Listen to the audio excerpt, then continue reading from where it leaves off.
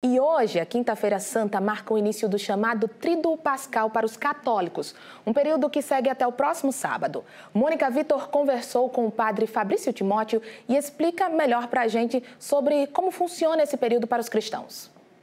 Para o católico, o termo trido pascal é bastante conhecido, né? As pessoas entendem que se trata daquelas três celebrações que antecedem a Páscoa, mas é, é preciso entender o que cada dia desse trido representa. Quem vai nos ajudar com esse entendimento é o Padre Fabrício Timóteo. Padre Fabrício, então, o trido pascal ele finaliza a Semana Santa para dar início então ao tempo litúrgico da Páscoa para os católicos, não é isso? Trido 3 são os três dias grandes, são os três dias maiores, são os três dias, liturgicamente falando, mais importantes da nossa fé. Quinta-feira Santa, nós temos João capítulo 13. Jesus lavando os pés dos seus discípulos, quase que instituindo o sacramento da caridade, da humildade, do serviço. Eu não vim para ser servido, mas eu vim para servir e dar a minha vida em resgate de muitos.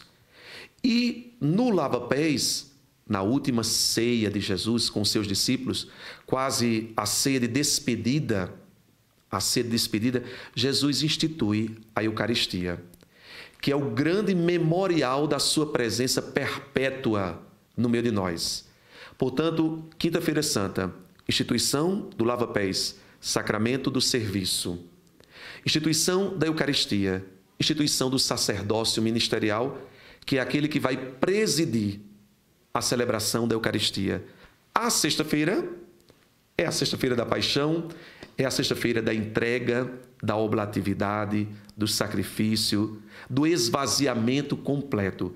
É o sacrifício da cruz. Portanto, é o dia da entrega, entrega por amor, por amor a mim, por amor a você. E aí nós ficamos o sábado santo em silêncio, na expectativa, porque quem espera em Deus não se decepciona. Quem espera em Deus não se frustra. No final do dia, nós celebramos a grande vigília, a vigília mãe de todas as mães, a vigília pascal, onde a noiva, que a igreja, espera a ressurreição e a volta do seu noivo por excelência, que é Jesus. E nós vamos proclamar: Jesus ressuscitou, ele venceu, e se ele venceu, nós podemos e vamos vencer também. Então...